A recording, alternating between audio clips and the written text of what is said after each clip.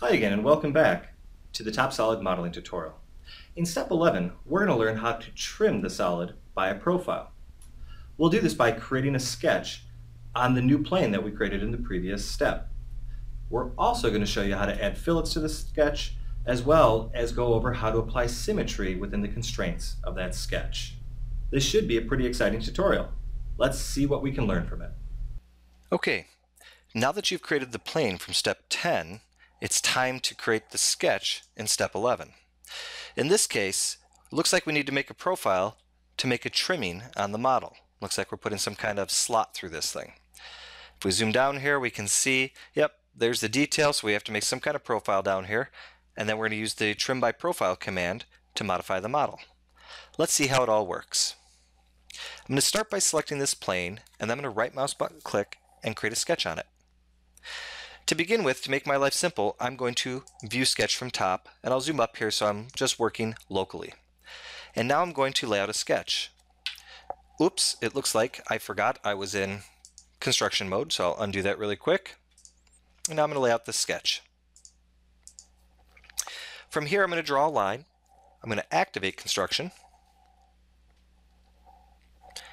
And then I'm going to go ahead and draw it vertically right there.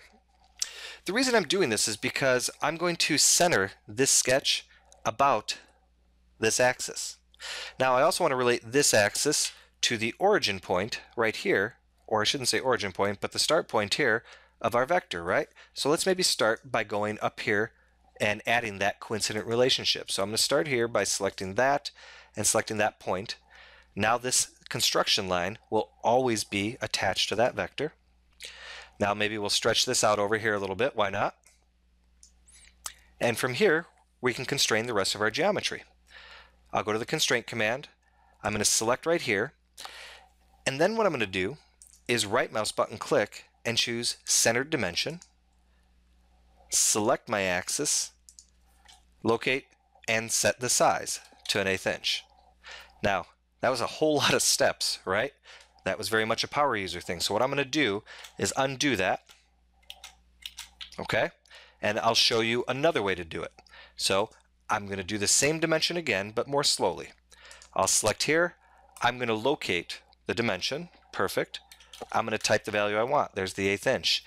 And now I've decided I want to center this dimension about the axis. So I can always right click on the dimension after the fact and choose define centering, select the axis.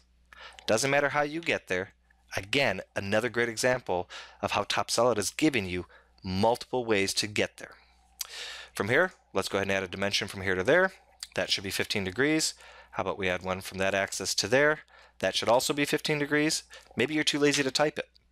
Did you know that you could click on the drop-down menu right there and most of the previous values you typed in are given there? Or if you just want to borrow the value from another dimension, when this is highlighted, just click on that dimension and it'll borrow the value.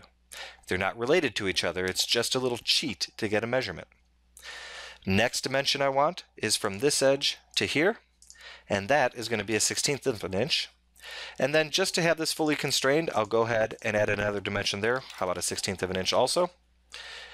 And then we will add two fillets, and our profile will be done. One, two, perfect. Now, maybe you don't want this sticking up that high. So let's go here, make it 20 thousandths. It doesn't really matter, it's just showing you that you have the freedom to modify and manipulate as you want. After that, all we have to do is trim. So I'm going to right mouse button click. Notice in the contextual menu here is trim by profile. Just to show you where that is in the menu, if I go to the shape pull down menu, you'll have trim by profile. If I go to the icon bar, it's right here, trim by profile. Now, once you have trim by profile selected, you'll notice there's four different options in here. You have extruded, revolved, by imprint, and round a point. Round a point is for surfacing specifically. This is the function we want, extruded. If we zoom up here, you can see that I'm getting a preview of what the software is already going to do. The important thing to know about our arrow, the arrow points to, to the side to delete in TopSolid. So if I wanted to keep what's inside this profile, I'd want the arrow pointing out. If I want to keep what's outside the profile, I want the arrow pointing in. Perfect. And now we validate. Now, you'll also notice that when you validate, it doesn't hide the tool shapes. We don't do that by default when we're trimming because we believe that in more cases than not, you may want to use this profile to do something more. So we leave it visible for you. But if you want to hide it, just double click on the feature. If you double click on the feature, it'll hide or show the driving elements of the feature.